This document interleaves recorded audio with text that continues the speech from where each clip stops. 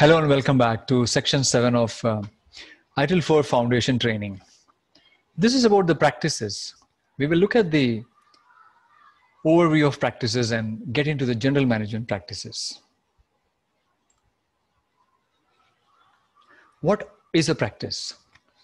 A practice is a set of organizational resources designed for performing work or accomplishing an objective. These resources are grouped into the four dimensions of service management, which means a practice is a collection of resources like tools and technology, teams and people, suppliers and partners, value streams and processes, which are the four resources or the dimensions of service management. The ITIL SVS, the service value system, includes 14 general management practices, 17 service management practices, and three technical management practices, which means there are three types or categories of practices, which make up a total of 34, all of which are subject to the four dimensions of service management, which means every practice is, it includes resources from the four dimensions. However, for the ITIL 4 foundation level, only 15 practices are applicable for the exam syllabus.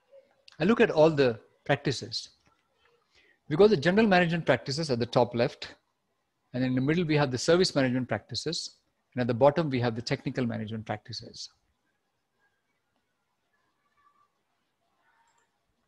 General management, while there are so many of them, of concern to us for the foundation are only four.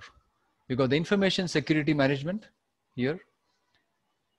Then we got supplier management towards the bottom here. We have relationship management somewhere here. And we have continual improvement at the top. So four of them. Continual improvement, information security management, relationship management, and supplier management. Of these, continual improvement will be covered in depth. So I'm putting one more star there for in-depth coverage.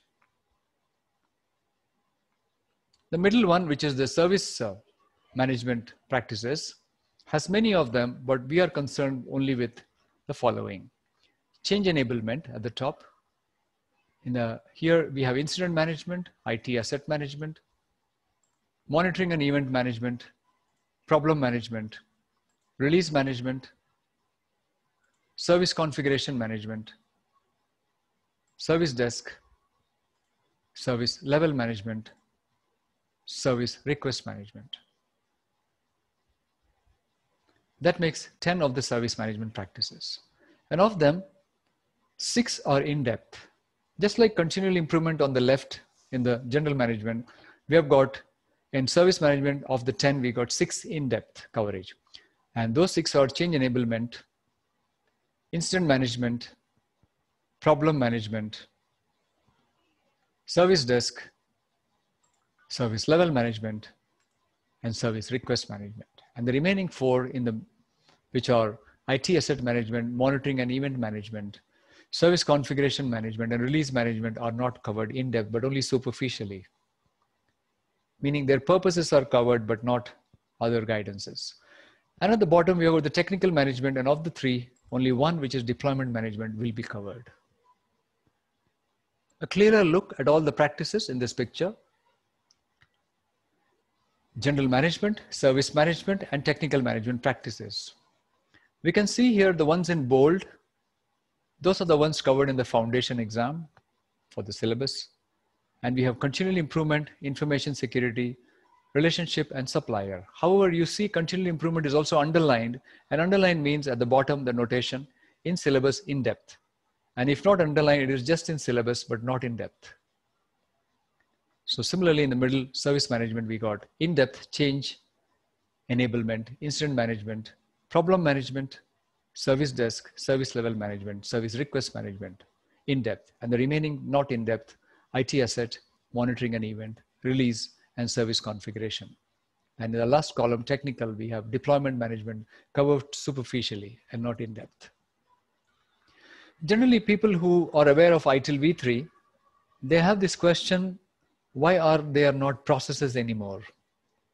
Because in V3, we would have processes like release and deployment management, change management, etc. but we don't have those processes listed here. And that's because these are practices.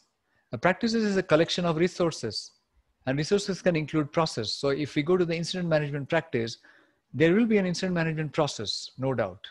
But that's not the only thing under incident management. We also have incident management related team structures, roles, competencies, incident management related uh, supplier and partner considerations, incident management related, related the information and technology considerations as well. So it's a more holistic view or a comprehensive view rather than just a process view. And that's why ITIL 4 makes it very flexible to design and maintain services and products. What are these three categories of practices? General management practices. These are practices taken from general business management domains. It's easy to note that things like knowledge management or supplier management are not necessarily from IT, but from other industries as well. Therefore, they are general management.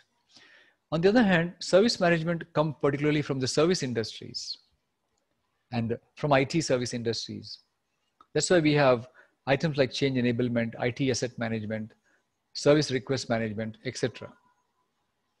Then we have the technical management like software development and management, deployment management, infrastructure and platform management. These are more technical and they have brought into service management. Therefore, general management and technical management have brought into service management for uh, benefiting service management.